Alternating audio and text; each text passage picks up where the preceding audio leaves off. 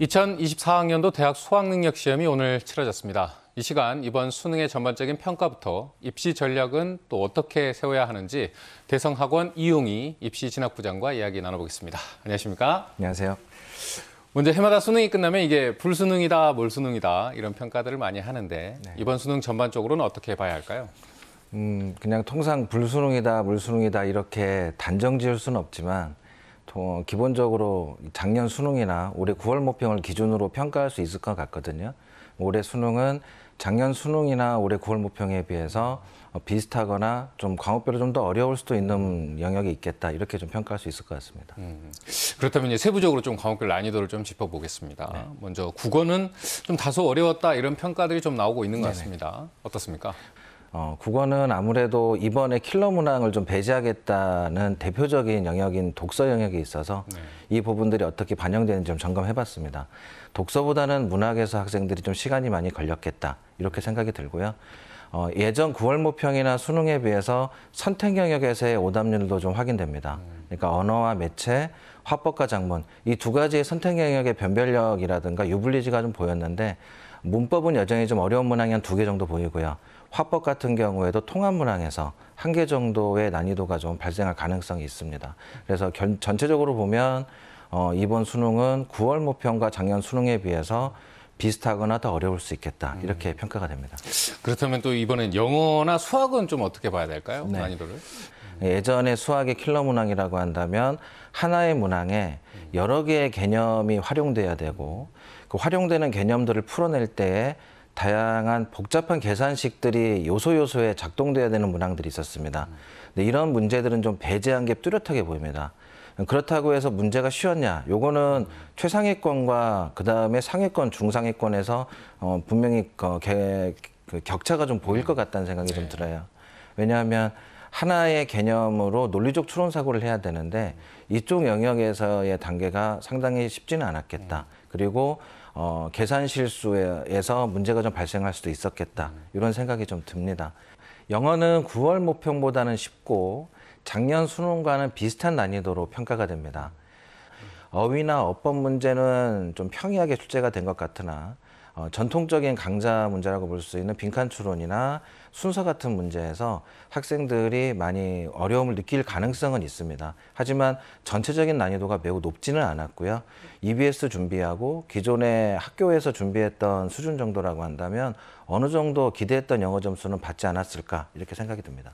그렇다면 무엇보다 이번 수능에서 말씀해 주셨지만 가장 큰 변수로 사실 킬러 문항을 배제했다 이게 실제로 이제 예. 평가원들의 이야기, 평가원의 이야기인데 그렇다면 이 상위권 학생들의 변별력을 좀 가리는데 어렵지 않겠냐 이런 예측을 사실 할 수 있는 거 아니겠습니까? 어떻게 보십니까?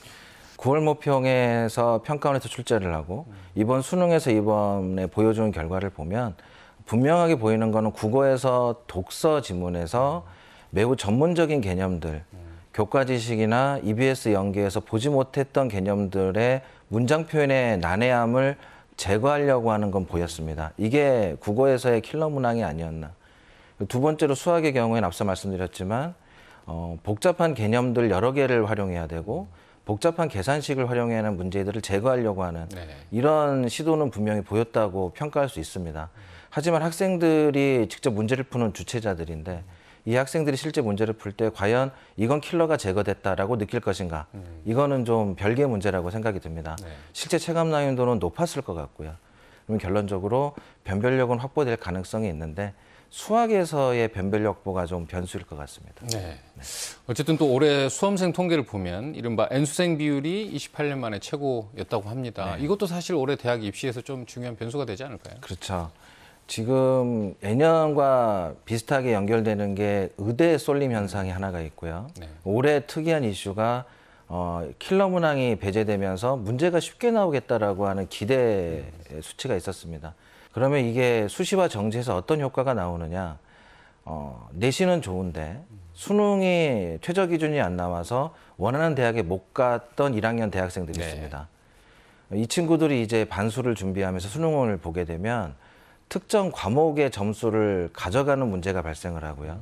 그러면 수능 최저 기준에서 수시의 변수 문제가 하나 발생을 합니다. 에, 그리고 당연히 수능이기 때문에 정시에서도 반수생들이 진입을 하면서 아무래도 졸업생들이 수능 점수가 좀 더 높다고 기대를 하거든요. 그리고 실제 결과도 그렇고요. 그러면 재학생들과의 경쟁에서 재수생들이 정시 점수를 좀 선점해가는 문제가 있을 거고요. 뭐 그렇게 되면 추후에 어, 수능 결과가 발표가 됐을 때 음, 대학 내에서도 최상위권 그룹부터 연쇄적으로 이탈하는 문제도 어, 발생할 가능성이 있다고 보입니다. 네. 어쨌든 지금 이 시간이면 수능 끝나고 학생들 뭐 가채점 하고 있을 시간일 텐데 뭐 가채점을 하더라도 이 대학별 고사 정시 대비까지 사실 이제 오늘 이후에도 계속 준비해야 될 것들이 많을 것 같습니다. 어떤 것들 좀 조언해 주실까요? 음, 요즘 입시는 수능 끝나면 이제 입시가 시작입니다. 네.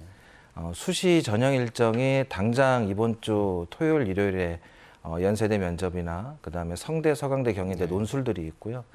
어, 다음 주에는 또 서울대학교 면접이나 우리 지역에서도 전남대 면접이나 다양한 논술 전형들이 11월 말까지 있습니다. 어, 그리고 난 뒤에 12월 8일에 수능 통저, 성적 통지가 나오고 이러기 때문에 학생들은 당면한 수능 수시에서 어, 대학별 고사를 준비해야 될 어, 상황이고요. 이거를 잘 준비해서 수능 통 성적 결과가 나오면 이제 정시 준비해야 되죠. 정시 준비할 때는 어, 대학의 요강에 따라서 내가 획득한 표준 점수와 백분위 중에 대학 환산 점수가 어디가 유리한가를 좀 봐야 되고요.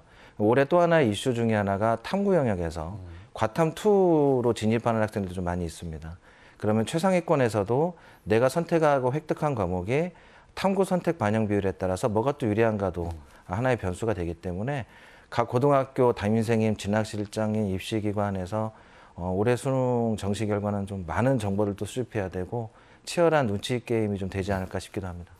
네, 말씀 잘 들었습니다. 지금까지 대성학원 이용희 입시진학부장과 이야기 나눴습니다. 고맙습니다. 감사합니다.